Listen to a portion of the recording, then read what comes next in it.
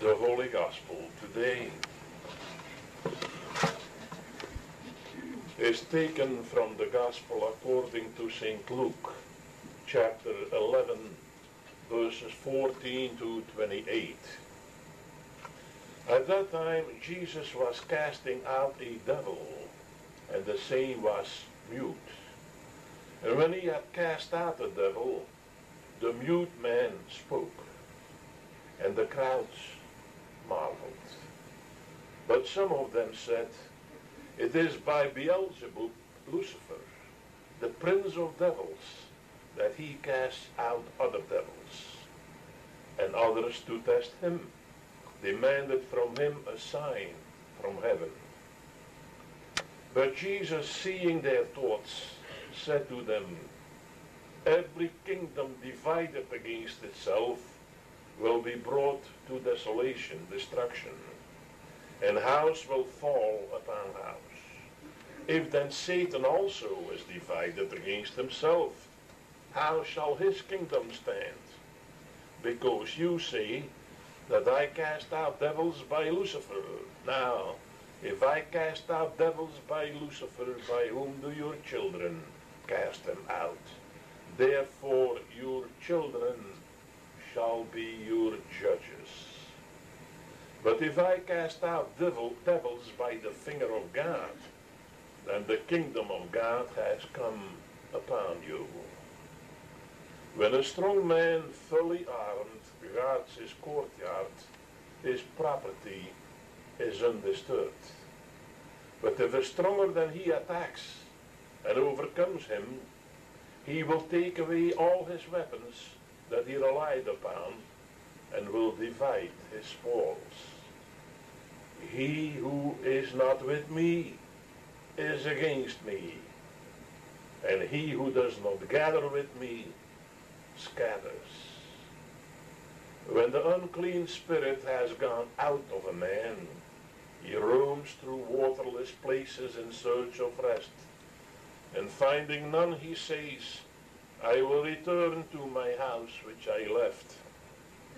And when he has come, he finds the place swept and adorned. And then he goes and takes with him seven other spirits more evil than himself. And they enter in and dwell there. And the last state of that man becomes worse than the first. Now it came to pass as he was saying these things, that a certain woman lifted up her voice from the crowd and said to him, Blessed is the womb that bore thee, and the breast that nursed thee. But he said, rather, Blessed are they who hear the word of God and keep it. So far the Holy Gospel. In the name of the Father, and of the Son, and of the Holy Ghost. Amen.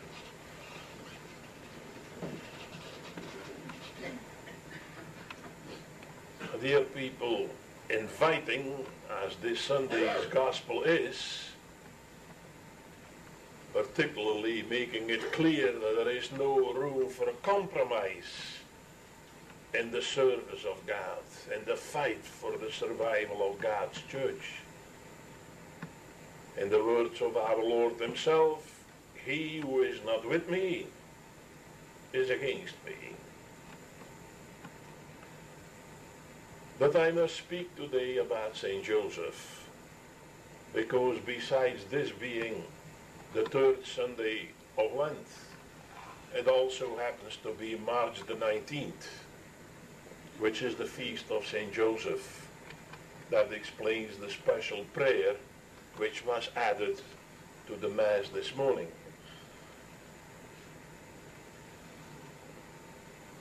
One of the most underrated popes in history is Pope Pius the Ninth. We hear a lot of Pope Pius the Fifth and Pope Pius the Tenth, but what about Pope Pius the Ninth? A great pope he was. He was pope in the second half of the previous century, from 1846 to 1878. Quite a long pontificate. And he was a man who kept close guard and watch over what was going on in his Vatican. And it is said that one day he stopped at a huge studio of a painter, one of those many artists for which Italy and Rome in particular is famous. He stopped there to see how the man was progressing in painting a huge painting of Our Lady, Queen of All Saints. And the Pope looked at it and he saw a beautiful painting there.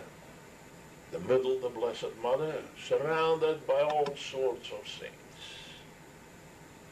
The Pope looked and he didn't seem too happy and he asked the artist, where is St. Joseph in this painting? The artist said, right there, see, among those other saints there. The Pope looked at him, he said, among those other saints there. Put him near the Blessed Mother, that's where he belongs, he said.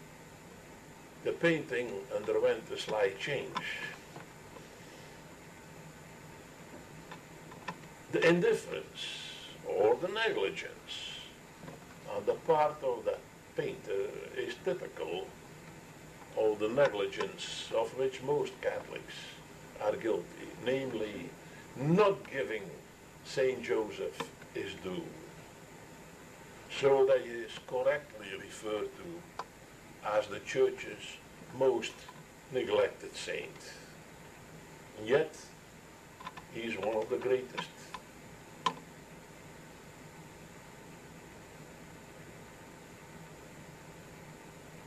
If one wants to go by the code of canon law, then his feast day is still supposed to be a holy day of obligation.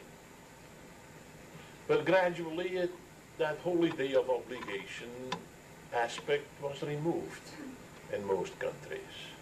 The latest one to do away with that was Italy itself. Thanks to the ever-growing love feast between the Vatican Secretariat of State and a certain newly recognized state. Same Secretariat of the Vatican, which eliminated the crucifixes from its offices because those crucifixes were supposed to be hurting the sensitivity of certain newly accredited diplomats. Mm-hmm. Saint Joseph, a giant among saints he was, a giant among men too, and a source of endless inspiration for all of us, whether we are men, women, married, single, old, young, we really should turn to him because we certainly can all learn from him. Look, for instance, at that man's faith and trust in God. Do we realize, my dear people, I guess we do, what it must have meant to that man to be told in a vision that he wasn't dreaming, that he was seeing a real angel from God and then take that angel's word for it. Namely, that the girl, he, Joseph, planned to marry, had already conceived a child. Conceived from the Holy Ghost, he was told. Destined to bring forth the living God, the long-awaited Redeemer of the world. The angel told him, go proceed and marry the girl. I'm sure we all realize the faith and the trust in God needed to believe that. And on top of it, to accept to spend the rest of his life as the celibate guardian of the Virgin Mother and the foster father of the child. Speaking of faith and trust. in God. We really don't know much about the life of St. Joseph. We do know how he became history's best known refugee. When again at an angel's direction, he took the newborn Christmas child and its mother to Egypt to protect the life of the Christ child from death at the hands of a monster king, Herod. And we also know that after the death of the monster king, the Holy Family settled in the village of Nazareth, where he, a direct descendant of King David, a man of royal blood, if there is such a thing, where he settled in Nazareth as a hard-working, honest carpenter, a working man, unknown to the world, but indeed very much known to God, who in that mysterious relationship resulting from the mystery of the incarnation, the living God, who for the first 30 years of his life on earth, according to the gospel, was subject to the man Joseph. So much so that Jesus became known to the outside world as Joseph's son. We don't know the exact day St. Joseph died, but we do know that he died before our Lord started his public preaching. St. Joseph died when our Lord was about 30, which means that St. Joseph never witnessed any of the miracles of his foster child, never saw any proof that indeed that child was what the angel had told him, the Redeemer of the world. He never saw that. The Blessed Mother went through a lot of suffering, but at least she also witnessed some of the success of her son. St. Joseph, no. Nevertheless, what a way to go, what a way to die.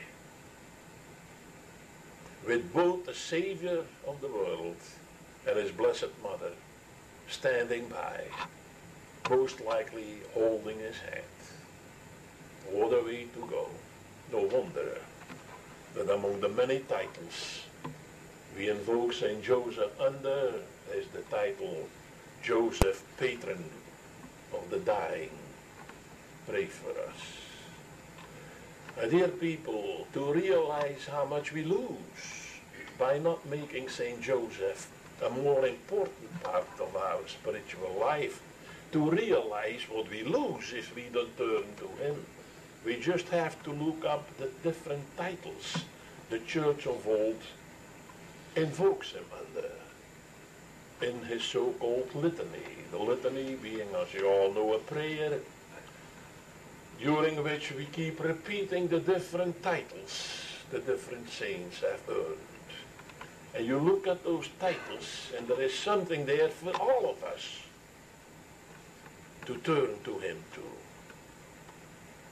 You children, and also growing adolescents, if at times obedience to your parents and to God becomes difficult, why don't you turn to St. Joseph, who obeyed God without asking questions? He didn't ask the angel the day of the Annunciation, now let's sit down here and let's discuss this a little. No, he said, this is what God sends to me as a message. His will be done. His servants is here. Hmm. That's why the litany calls him Joseph, most obedient man. Pray for us. And then you young man and young woman, and your teens and in your twenties, if purity at times in this rotten world around you seems to become an impossible dream, why don't you turn to Joseph, whom the litany calls Joseph, most chaste man, pray for us. any circumstance of life, you feel weak. You say, I can't resist all those temptations. Turn to Joseph. The litany calls him Joseph. Strong man, most strong man. Pray for us. And if you sometimes feel in this rotten world that the devil himself is after your soul, go to Joseph again because the litany correctly calls him Joseph, terror of demons. Help us. And then you, adult man, an adult woman, whose responsibility it is to keep a family together, both materially and spiritually, if there are troubles in your home, and which home has no troubles at one time or another, if there are troubles in your home, turn to St. Joseph. The litany calls him the glory of home life and the pillar of families. If at times your patience is running out with your spouse or with your children, go to Joseph. The litany calls him mirror of patience. Help us. If at times, my dear people, it appears simply too demanding, too demanding to remain faithful to your God and to the church and to the faith of your forefathers, to remain faithful to your family and to yourself, when practically everyone around doesn't even know what it means to be faithful. You remain faithful and ask for help from the one the litany calls Joseph, most faithful man. Help us. If sickness or health problems enter your lives, the litany suggests turn to Joseph, whom the litany calls hope of the sick. And if at times it appears, my dear people, that all justice and all honesty has left the world we live in, left the professional and the social world around us, let's turn to Joseph, whom the gospel itself calls a truly just man. Now, dear people, as I mentioned a few minutes ago, if we do not make St. Joseph a part of our spiritual construction, we are the losers.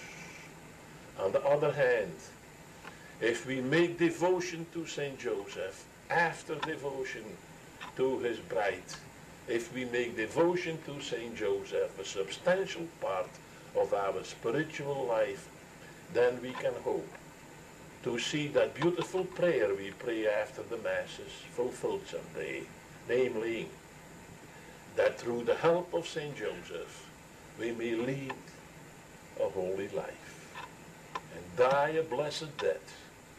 Someday, thanks to the patron of the dying, attain to everlasting life and happiness in heaven.